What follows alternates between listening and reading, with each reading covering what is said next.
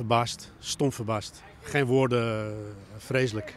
In de nacht van donderdag op vrijdag is er een explosief afgegaan bij sportschool Gym 3 aan de Zetterij. Bij de explosie raakte niemand gewond.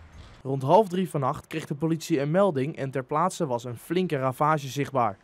Eigenaar Ben Kada snapt niet hoe dit heeft kunnen gebeuren. We hebben geen uh, vijanden, dat ik weet, geen, uh, geen rare dingen.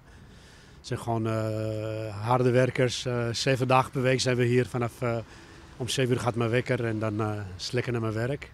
Ja, alle ramen zijn een stuk beneden en een stukje boven en het plafond en binnen. Ja, is zeker, zeker redelijk wat schade, ja. Om wat voor explosief en wat het motief van de daders is, is alsnog onduidelijk. De politie heeft de zaken in onderzoek en is op zoek naar getuigen. Ik echt niet weten. Ik ben echt nieuwsgierig wie, uh, wie hierachter zit. Ik zou toch wel graag willen weten. Ik heb geen, geen haat of woede in mij, maar gewoon meer de nieuwsgierigheid van wie ben je, waarom doe je wat je doet en waarom doe je niet iets anders met je leven.